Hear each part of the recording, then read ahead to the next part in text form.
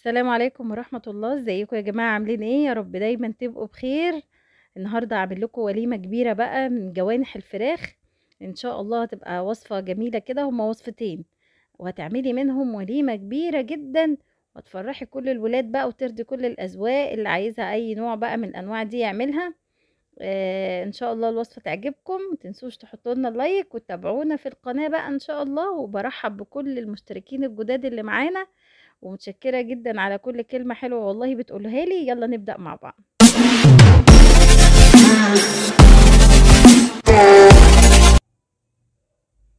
هنبدأ بسم الله أنا هنا عندي كيلو من الجوانح. يعني ما تستغربيش إن أنت هتعملي الوليمة الكبيرة دي من الكيلو من الجوانح آه بس والله فعلا يعني فكرة حلوة جدا وموفرة والولاد فرحوا بيها جدا وكانت وصفتين حلوين جدا. أنا هنا عندي بقى كيلو من الجوانح أنا نقعاه الأول طبعا في في مية وخل وسكر وملح وليمون زي ما إحنا عارفين وبعدين شلتهم من النقع وقطعتهم بقى كده لأن أنا بنقعهم أول ما بجيبهم من عند الراجل وبعدين بقى جبت هنا بقى بولتين كده بعد ما غسلتهم كويس تاني ونشفتهم. آه حطيت بقى في البولتين حطيت ملح وفلفل وده متفق عليه في التتبيلتين. وبعدين حطيت بقى في التتبيلة اللي هعملها الجوانح المقرمشة حطيت فيها بصلاية مفرومة معلقتين زيت الزبادي الكبار وحطيت عصرة ليمونة وحطيت معلقة من البصل بودر توم بودر بابريكا كل التوابل بقى اللي بتحبيها. آه ما تنسيش عصرة الليمونة معلقة زيت كبيرة والتوابل اللي انت بتحبيها وبشرة الطماطم وبشرة البصل. دي التتبيلة بتاعة الفراخ المقرمشة. التتبيلة بقى بتاعة الجوانح اللي أنا هعملها في صينية بالزعتر. حطيت بقى البصل مقطعاه جوانح فلفل ألوان آه زعتر توم آه هتحطي برضو معلقتين كبار من الزيت أو معلقة سمنة كبيرة معلقة توم كمان مفرومة كبيرة. هنقلب بقى كده التتبيلة بتاعه الجوانح زي ما أنا قلت لك كده حطي التوابل اللي أنت عايزاها بس الأساسيات الزبادي والليمون دول من الأساسيات علشان إحنا مش هنحط بيض مع التتبيلة دي. مش هعمل الفراخ أو الجوانح دي ما بعملهاش ببيض. والتتبيلة دي برضو إحنا المكون اللي فيها برضو الفيصل عن التانية ان حاطة فيها زعتر علشان هحط تحتها بطاطس كده البطاطس بقى بالزعتر مش عايزة اقولك هتطلع هايلة ريحة وطعم فظيع. وتقسمي بقى الكيلو الجوانح عندك على نصين أو على حسب بقى شوفي الأكتر هتتحب في إيه أو أو بتتفضلوها أكتر في البيت إيه واعملي الوصفة اللي انت تحبيها.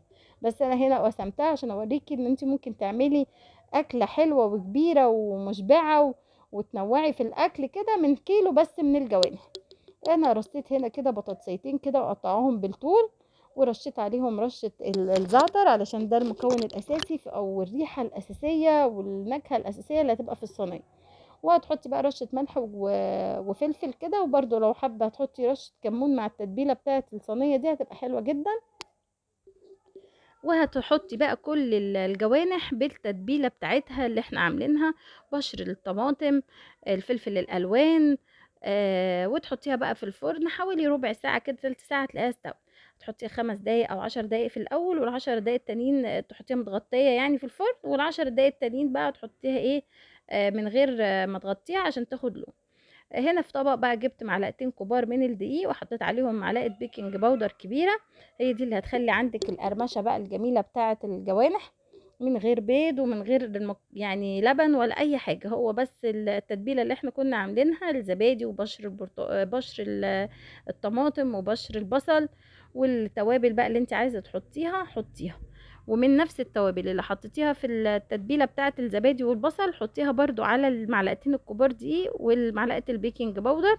وهنحط بقى كيس كمان معانا مثلا فيجيتار أي بقى آه الحاجات اللي بتخلي الفراخ مقرمشة دي بقى من بره. انت بقى ممكن تجيبي أي نوع من بره وحطيه بقى مع التتبيلة دي. أساس التتبيلة دي معلقتين الدقيق ومعلقة ال baking powder الكبيره هنقلبهم بقى كده مع بعض ونحط بقى كيس الفيجيتار زي ما قلت لكم.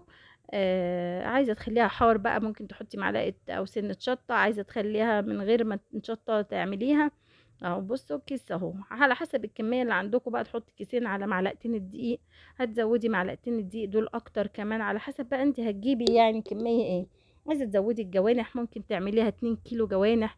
بس من الجوانح يعني من الكيلو والله عملت هتشوفوا الكمية معايا وهت أكيد شفتوها في أول الفيديو. هي دي كل الكمية اللي شفتوها دي من كيلو جوانح بس. هنطلع بقى دي أنا كنت سايباها حوالي ساعتين على الأقل علشان طبعًا إيه تستوي بسهولة لأن دي هتتقلي في الزيت.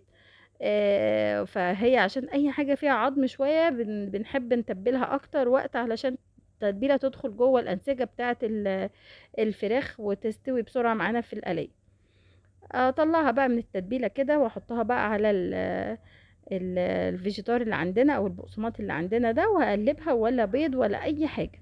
وتتبيلة خفيفة كده أو تبطينة خفيفة كده بس من البقسماط ما تخليهاش كتير تقعد كتير في في البقسماط ده وتنفضيها كده وتحطيها بقى إيه في طبق.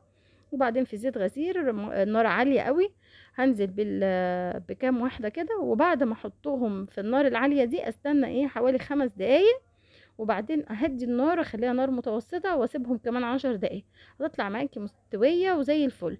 وطبعًا الصينية حاطينها في الفرن هنطلعها بعد ربع ساعة زي ما قُلت لِك تكشفي عليها كده أو بعد 10 دقايق تكشفي عليها علشان تاخد اللون اللي أنتِ عايزاه تحت الفرن وبالهنا والشفا. بصوا بقى الجمال مش عايزة أقول لكم بصوا طبقين أهو من الفراخ أو من الجوانح المقرمشة غير الصينية دي في بطاطس وفي بقى الصوص والبصل اللي خد لون من الفرن.